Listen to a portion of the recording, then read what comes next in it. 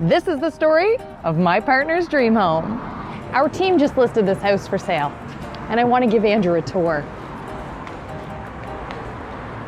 Andrew loves expensive things, so I think he'll feel right at home.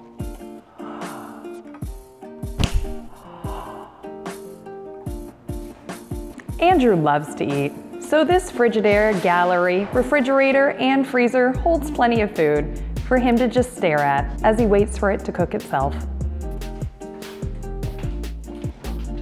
After a long day of work, Andrew loves to mix himself a drink, and what better place to do it than in the custom bar in the living room.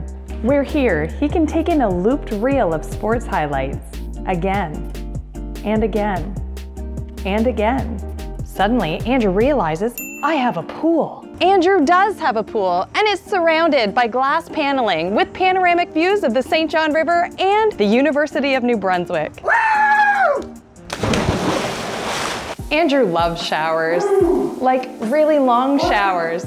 Sometimes when other people have to shower too.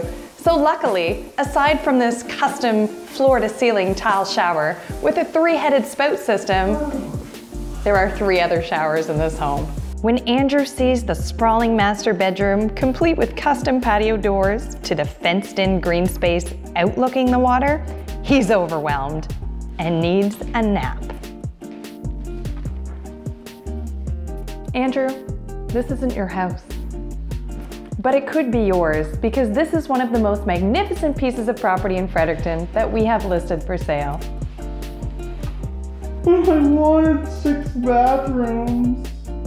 I know, sweetie. For more information on this property or any of our listings, visit our website at www.yerxateam.com.